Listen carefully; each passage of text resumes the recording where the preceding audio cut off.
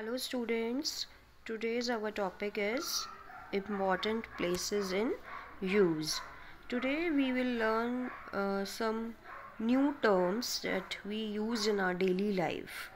Okay, our first term is an apiary. An apiary is a place for rearing honeybees. Honeybees yani madhumakhi and what is rearing? Rearing is the pollen portion. तो जहाँ पे मधुमक्खी का पालन पोषण उनकी take care की जाती है that place name is an apiary second is an arsenal is a store house for weapons and explosive explosive is a बारूद यू कैन से बारूद और विस्फोटक and weapons you all know हथियार जिनको हम बोलते हैं you can clearly see the image of girls there are some girls and uh, weapons and explosives okay third uh, our term is an asylum an asylum is a place for the treatment and the care of mentally ill persons uh, जो mentally ill persons रहते हैं उन लोगों के लिए mental hospitals हम लोग पहले बोलते थे it is we are using a term an asylum here you can see the image of an asylum where a bed is there for mentally ill persons. Fourth term is an aviary is a large cage or closed space in which birds are kept. An aviary is a large cage or closed space. Birds के लिए specifically ये होता है एक cage होता है एक net के जैसे होता है जहाँ पे हम लोग बर्ड्स को रखते हैं आप सभी ने देखा होगा एक बहुत जूज़ वगैरह में कि हम लोग उसको ओपन नहीं रख सकते हैं so it is a closed space next term is our a brewery brewery is a place for distilling alcoholic beverages first of all beverages सबको पता है liquids drinks होती हैं uh, you can say cold drinks or fruities etc but here the term is used for specifically distilling alcoholic distilling you can say clean or purify करने के लिए so here in this image clearly you are seeing some bottles or cans तो brewery is a place जहाँ पे alcohol को clear किया जाता है प्योरीफाई किया जाता है। Next term is a cemetery is a place to bury dead bodies bury means दफनाना। In this image you are seeing the sign of cross तो basically this is only for Christians so जो मर जाते हैं वहाँ पे जो लोग तो उनको uh, उनकी बॉडीज़ को दफनाया जाता है। तो that place is known as cemetery next is a crematorium और crematory is a place for burning dead bodies and in our Hindu religion हम लोग अपनी बॉडीज़ को जब डेथ uh, हो जाती है जिनकी विल बर्न देम उनको हम जलाते हैं। तो जहाँ पे जलाते हैं that area you are seeing here a bunch of wood जहाँ पे लकड़ियों का बहुत सारा है और इसमें हम उनको बर्न करते हैं। That place is known as crematorium और crematory next is a galley is a kitchen on a ship और एन एयरक्राफ्ट किचन सबको पता है, सबके घरों में किचन होता है and but here in ship और an aircraft we will not called as kitchen we will called galley next term the place where bricks are manufactured is called a kiln जहाँ पे ब्रिक्स मीन्स ईटे जहाँ पे बनती हैं that place is known as kiln next we do scientific experiments in lab और laboratory सभी को पता है, जहाँ पे हम लोग साइंटिफिक मीन साइंस से रिलेटेड जो एक्सपेरिमेंट्स करते हैं उस रूम उस स्पेसिफिक एरिया को विल कॉल्ड लैब जो कि सभी स्कूल्स में you can say you can see the labs in your schools also तो साइंटिफिक एक्सपेरिमेंट्स जहाँ होते हैं डैट इज़ लैब और laboratory a laboratory is the other name for a toilet toilets washrooms you can say but now the new word for washrooms or toilet is lavatory here you are seeing a page of uh, pot is there na so that place is lavatory then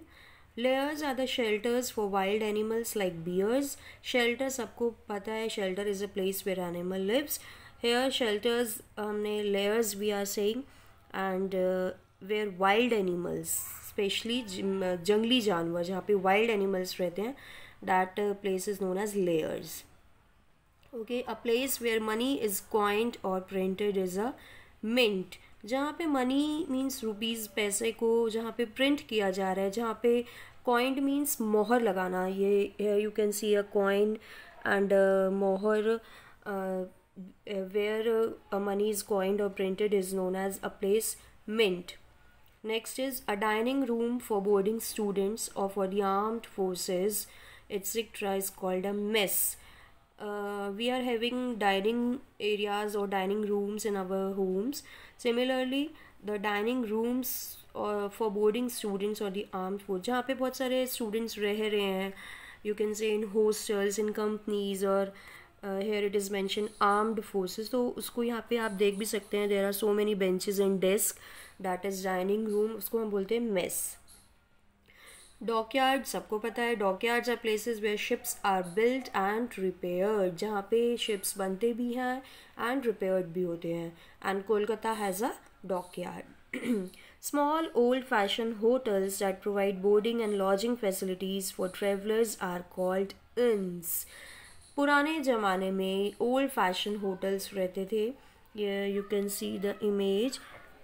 here boarding and lodging facilities means जहाँ पे खाने और रहने की दोनों की facilities provide की जाती है ट्रैवलर्स के लिए टूरिस्ट के लिए rest place is called inns a building और a resting place for players attach to a stadium और sports ground is called pavilion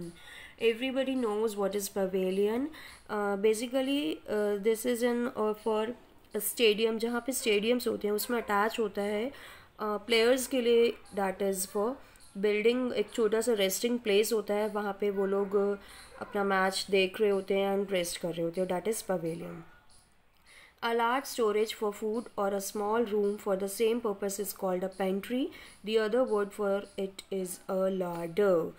Pantry you can say a kitchen जहाँ पे बहुत सारा फ़ूड लार्ज स्टोरेज में रखा जाता है you can say small room same purpose के लिए uh, pantry may be used for in offices or in schools it is used as so this term is known as pantry. Dormitory is a hall or a large room that accommodates a number of people to sleep especially seen in hostels and hospitals. This term is very interesting. Have you seen the beds which uh, which are having the partitions? Here you can see the bed and partition especially in uh, I can explain with an example of train आप trains में गए होंगे bogies में वहाँ पे देखा होगा आपने सीट्स को पार्टीशन किया होता है। पहले नीचे सीट होती है देन उसके uh, ऊपर होती है ताकि आप सो सके। तो सिमिलरली हॉस्टल्स में हॉस्पिटल्स में बेड्स होते हैं उनको पार्टीशन कर देते हैं। एक के ऊपर एक के ऊपर। That is a dormitory okay Next, motels. Motels are small hotels on the highways that provide rooms and parking spaces for travelers and their vehicles respectively. Motels क्या होता है Small hotels होता है शॉर्ट स्टे के लिए होता है कि थोड़ी सी देर हम लोग वहाँ पे रुके और हमें वहाँ पे जितनी भी फैसिलिटीज़ होती है प्रोवाइड किया रुके और फिर हम लोग चल दिए होटल्स क्या होता है वो लार्ज स्केल पे होता है और मोटल्स हमें बेसिकली हाईवेज़ वगैरह पे इजीली मिल जाते हैं Next is a large room or any such part of a hospital which houses a specific group of patients is called a ward. For example, a surgical ward houses patients who have undergone operations. Here you are seeing so many patients are there in only a one large room. So a large room on any such part of hospital जहाँ पे group of patients एक साथ रहते हैं that is ward. Next is a mortuary or morgue is a place where dead bodies are kept. Temporarily, it is usually found in hospitals. आपने hospitals में देखा होगा बहुत सारी you have seen in movies and in serials uh, कि uh, the dead bodies were kept. It is known as mortuary. उसको mortuary बोलते हैं. And the last is a gym or gymnasium is a club or building where people go to exercise it exercise sorry it is often equipped with various machines for working out. Everybody knows where, what is gym gymnasium where uh, people go for exercise and uh, in a gym there are so many machines so that people can do their workout. So in this video we have learned or studied so many new terms. Uh, pronunciation is uh, a little bit difficult. You have to pronounce आपको करके देखना होगा एक बार one two three times and also I share you some notes regarding this which you have to do in your notebook and please if you can ask to me if there is any query और any problem regarding you can use YouTube also you can listen from there also if there is any difficulty in pronunciation okay bye see you soon thank you